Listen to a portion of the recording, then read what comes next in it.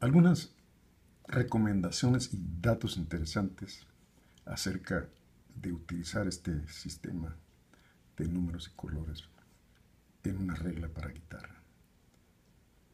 Una recomendación sería no utilizar los nombres o utilizar lo menos posible para los números, sino hay que usar los números para los nombres. Es más práctico. En la eh, vida diaria de los músicos que empezamos a aprender líricamente, eh, nos comunicamos eh, así, le ponemos un número a, cada acorde, decimos, o a cada tono. la primera de Do, la primera de Sol, la primera de Re. no estamos cambiando el orden ni el nombre. El orden es el 1, la primera de Sol o la primera de Do sigue siendo el número uno. Lo mismo va a pasar con este sistema, solamente que este está aplicado también a la melodía. En esta gráfica estamos viendo los sonidos que pertenecen a la escala de Do. Y Do tiene entonces la secuencia 1, 3, 5, 6, 8, 10, 12 y 1. Cada número representa en este caso una nota, un sonido especial. Eh, hay que practicarlo y es interesante también ver cómo esta escala se distribuye en todo el diapasón. Y podemos practicar esta escala simple utilizando sonidos al aire como el 3, el 8 y el 12 o hacer esta escala que es muy útil para practicar los dedos de ambas manos y que es esta secuencia poniendo el dedo 2 en el sonido 1 y el dedo 1 en el 5 y empezar 1, 3 en el quinto traste y no al aire. O sea, este es con el segundo dedo y este es el cuarto. Los dedos están distribuidos aquí, primero, segundo, tercero y cuarto. Es decir, si pusiéramos los dedos aquí, sería 1, 2, 3 y 4. De esta manera, nosotros podemos, dejen ponerlo para que tocar entonces 1 con el dedo 2, 3, 5, 6, 8 y siguiendo ese mismo orden, el 10 es con el dedo 1, el 12 es con el dedo 3 y el 4 y el, cuarto dedo es el, la nota 1 nuevamente. Esta escala es práctica porque podemos irla recorriendo en todo el diapasón y es un buen ejercicio que además se puede convertir en dos escalas. Si vamos más adelante, podemos ver que tenemos otra escala en hasta el traste 8, 1, 3, 5, 6, 8, 10, 12 y 1, en que podemos ligar ambas para hacer un ejercicio muy práctico para agilizar los dedos de ambas manos. Bien, esto claro hay que practicarlo mucho. Eh, es práctico también, esto es una recomendación, utilizar las distancias sin número, sin color, sin nombre, simplemente irlas aprendiendo. Al principio sí darse cuenta de que entre do y re, pues hay, los músicos dirían un tono completo. En realidad hay dos notas que están a, la distancia de 3.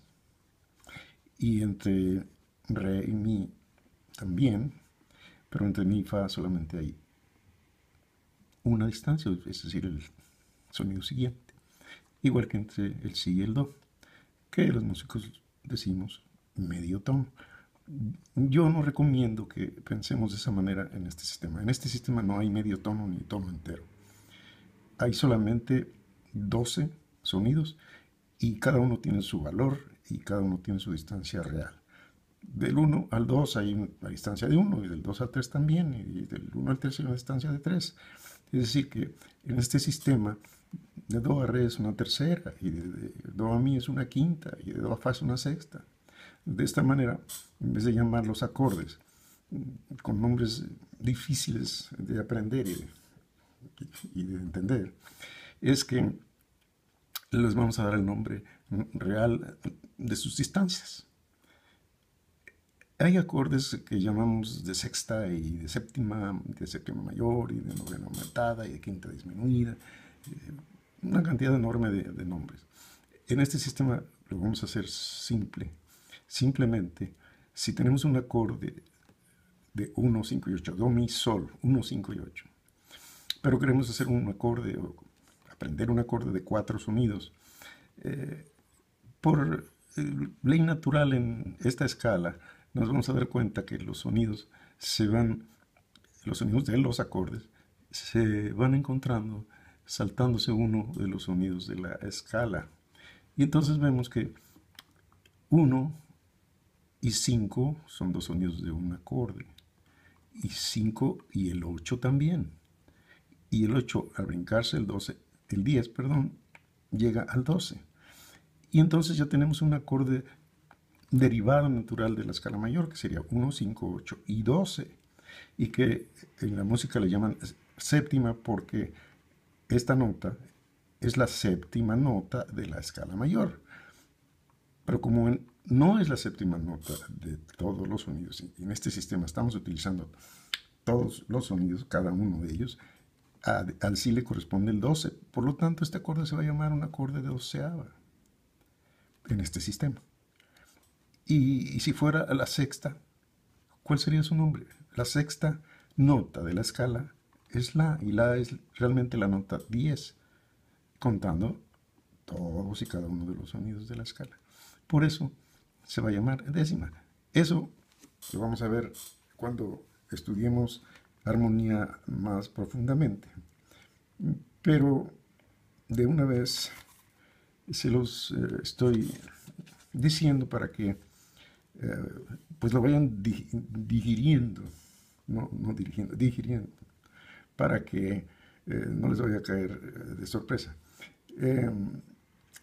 datos curiosos son, por ejemplo, que los 12 números están ligados a cosas tan cotidianas para nosotros como el reloj, que tiene 12 sonidos, y que por cierto es fácil de hacer un círculo armónico y de escalas con un reloj.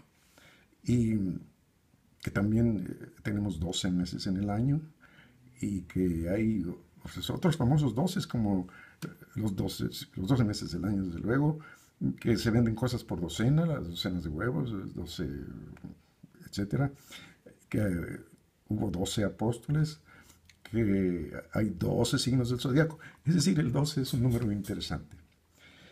bien, yo creo que por ahora es eh, lo que vamos a ver nada más acerca de esto. No quise poner al principio la equivalencia de las letras para hacerlo más de acuerdo a, nuestro sistema y que vayamos acostumbrándonos a utilizar la música como matemáticas, o sea, como un sistema diferente que puede ser mejor o no, y también depende del gusto de cada quien, pero aquí lo dejamos a su consideración, esperamos que les sirva y en el próximo video hablaremos, aunque creo que me estoy saltando algo, algo importante.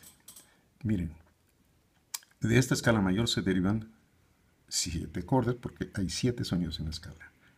Y como dije antes, los acordes se encuentran brincándose una de las notas de la misma escala y es como se encuentran los sonidos de cada uno de los siete acordes. El, primer acorde es unos 5 y 8. porque nos brincamos unos 5 y 8? El siguiente acorde sería el 3. 3, 6 y 10. Claro que no en la misma cuerda. Esos van a ser los sonidos que van a formar parte del acorde y donde quiera que se encuentren. Es decir, si yo veo un 3 aquí, un 6 aquí y un 10 y pongo mis dedos aquí, ese va a ser un acorde 3. Claro que es re menor. ¿Y por qué es re menor? Porque la distancia entre el 3 y el 6, que son los primeros números de este acorde, el 3 al 6, es más corta que la distancia del 1 al 5. Como se ve gráficamente en cualquier lugar que veamos, del 1 al 5, pues hay 5 notas. Y del 3 al 6 hay solamente 4. Esa es la razón por qué se llama acorde menor. sin embargo, sigue el mismo sistema de encontrar los sonidos brincándose.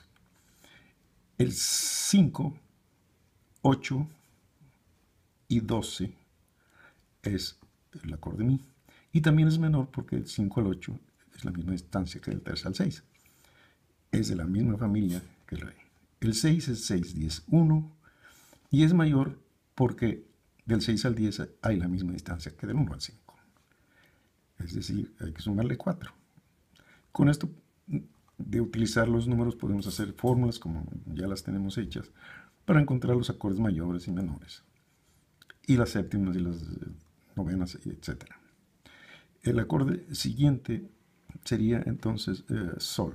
Sol es un acorde, el 8, que generalmente se utiliza de cuatro sonidos eh, con una llamada séptima, eh, que bueno, no es exactamente una séptima, séptima mayor, porque sí hay siete sonidos del 8 al, del 8 al 6, que es la nota séptima. Si contamos 1, 2, 3, 4, 5, 6 y 7, hay sí siete notas y por eso se llama acorde de séptima, aunque en este caso la distancia real es de 11 y por eso este acorde en este sistema se va a llamar un acorde de oncena. Sí, es confuso, pero eh, es más práctico y si el que quiera utilizarlo, bienvenido. Eh, el acorde siguiente, La, es un acorde menor, como vemos, 10, 1 y 5. Y aquí podemos ver acordes, si ustedes han tocado guitarra, inmediatamente localizamos que exactamente el 10, 5 y 1 es la menor. Y que podríamos encontrarlo aquí en el quinto traste también y en cualquier otro lugar donde se encuentre. O en cualquier inversión. Con el sistema obviamente es más fácil encontrarlos visualmente por el color y, bueno, por el número. El siguiente acorde sería 12, 3 y 6. Oh, este es un acorde especial de esta escala, puesto que su distancia es una distancia menor del 2 al 3 y otra distancia menor del 3 al 6. Por eso su nombre de disminuido. Nosotros normalmente tocamos el disminuido agregándole otra distancia menor. Y si le dan diferentes nombres, no vamos a dar nombres, simplemente matemáticamente es sencillo. Más 3, más 3, más 3 y tenemos un acorde disminuido. Empezando por cualquier número, en este caso el 12. Y con ese damos por terminados los acordes derivados de la escala mayor y que en este ejemplo la dimos en la escala de Do mayor. En el próximo video hablaremos de la escala menor, y los acordes que se derivan de ella. Y creo que es todo por ahora. Muchas gracias y hasta la próxima.